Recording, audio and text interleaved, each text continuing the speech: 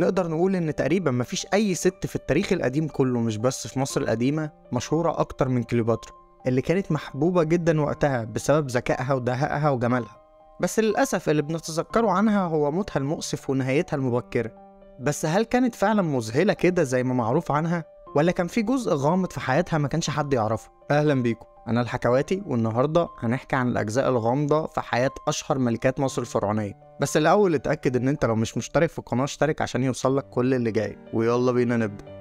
أسطورة جمال كليوباترا ما زالت منتشرة دلوقتي بنفس مستوى انتشارها لما كانت حية والفكرة دي انتشرت أكتر بعد الفيلم اللي هوليوود أنتجته واللي قامت ببطولته الممثلة إليزابيث تايلور كليوباترا وهي حية خلت أشخاص قيادية عظيمة يقعوا في حبها زي مارك أنتوني ويوليوس قيصر. بس جه المؤرخ بلوتارخ ما كانش منبهر بشكلها خالص وكتب في كتابه إن شكلها كان عادي جدا وإن كل اللي كان بيقابلها في الحقيقة كان بينصدم إنها مش شبه الأساطير اللي بيسمعوها عنها. بس حضور كليوباترا كان طاغي وإن كلامها وشخصيتها كانوا بيسحروا أي حد يتعامل معاها واضح إن كليوباترا كان جمال شخصيتها في كاريزمتها وذكائها أكتر من جمالها. كليوباترا كانت بتدرس حاجات كتيرة جدا زي الطب والرياضيات والكيمياء والاقتصاد التاريخ والجيولوجيا. ده غير إنها كانت بتتكلم تسع لغات وكانت شاطرة قوي في إنها تتحكم في أي مناقشة بتدخل فيها. ذكائها القوي مع حضورها وجمال شخصيتها كان بيخليها من المستحيل تجاهلها. وموضوع الصورة الجميلة اللي كانت بترسمها في مخيلة الناس كان إضافة كبيرة لشخصيتها السياسية. فعشان كده كان لازم تعوض موضوع الشكل ده بحاجات تانية. زي إنها ما تعتمدش بس على إنها تتخطب سياسيا بل كانت كليوباترا تصور المصريين للإلهة إيزيس على الأرض.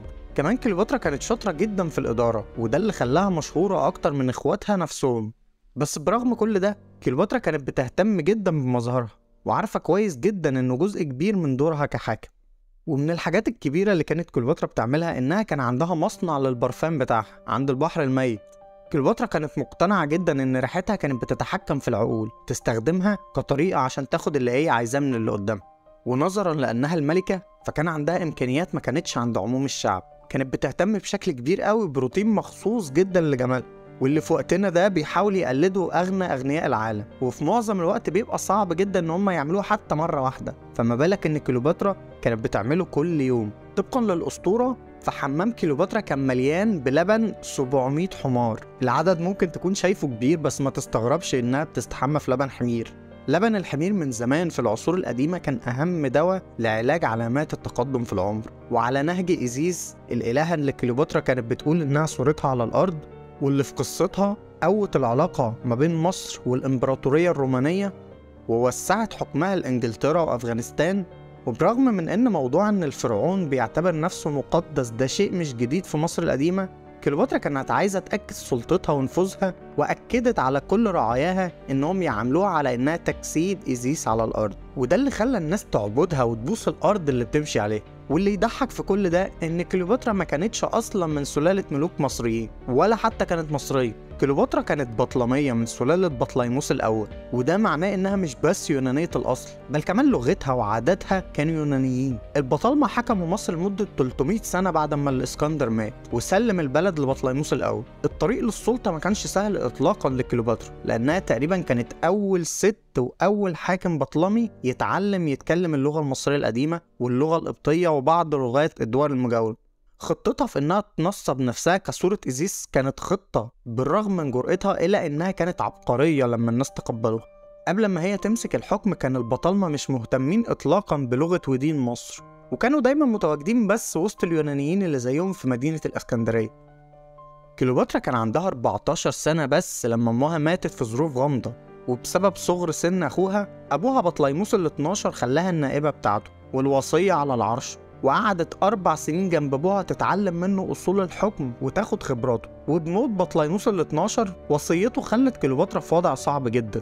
وصيته كانت إنها تتجوز أخوها اللي عنده عشر سنين وتشاركوا في الحكم معاها. بس من بداية الجواز كان باين إن كليوباترا مش ممكن أبدا تخليه يتدخل في الحكم على الرغم من إن الشائع وقتها إن الملكات بتخضع لزوجها. وهو اللي بيحكم. وأكدت ده بإنها مسحت اسم جوزها بطليموس ال 13 من كل الوثائق وطبعت وشها هي على العملات اللي اتعملت وقتها.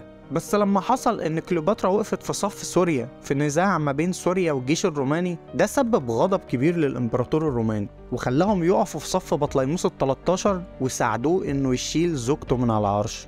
بعد إحباط كل محاولات كليوباترا إنها ترجع للعرش اضطرت تهرب مع أختها على الرغم من إنه الأختين اتعاونوا عشان يهربوا إلا إن العلاقة ما بينهم ما كانتش كويسة خالص لدرجة إن كليوباترا كانت متأكدة إن أختها بتتآمر ضدها. في نفس الوقت ده كان بطليموس ال 13 زي ما أنت متخيل بالظبط من ملك عنده 11 سنة. ما كانش حد قادر يسيطر عليه ومستشارينه مش عارفين يتحكموا فيه. وعشان كان أهوج أمر بأعدام بومباي قدام مراته وعياله. حتى يوليوس قيصر اللي كان عدو لبومباي وشاف إن ده عيب على الكبرياء الروماني وراح احتل العاصمة المصرية. بطليموس ال 13 غرق في النيل وهو بيحاول يهرب من جنود الرومان وجنود كليوباترا.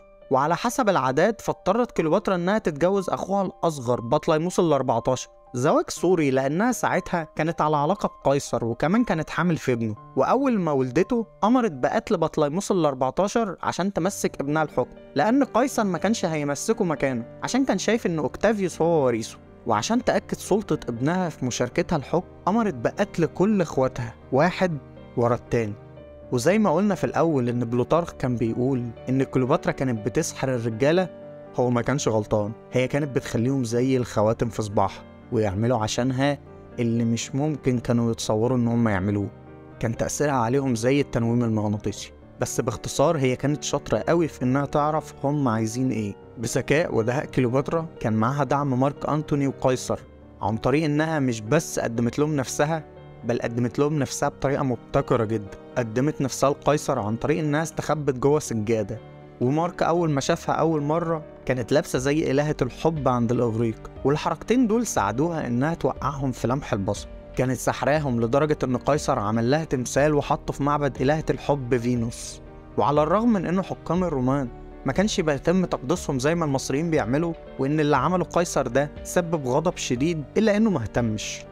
وأنتوني لما شافها في لبس أفروديتي نسي نفسه ونسي الحرب والاحتلال اللي كان بيعمله وقضى الشتاء معاها كله في الإسكندرية. كانوا بيقضوا وقتهم في حفلات وشرب وقت ما كانت روما بتولع من الحرب الأهلية. وحصل إن كليوباترا طلبت من الخدم يجيبوا لها خل وراحت دوبت فيه جواهرها وشربها عشان تكسب رهان من مارك. بيقال إن الجواهر دي كانت بتساوي حوالي 10 مليون دولار دلوقتي. في نفس الوقت ده كان المصريين والرومان بيقطعوا بعض عشان أوكتافيوس كان بيقضي على كل المنافسين لحكم روما. بس كده. قول لي بقى انت لسه شايف ان كليوباترا أجمل ست في التاريخ برغم من الجانب المظلم ليها؟ ولو لسه ما اشتركتش في القناة اشترك عشان يوصلك القصص الجاية. سلام.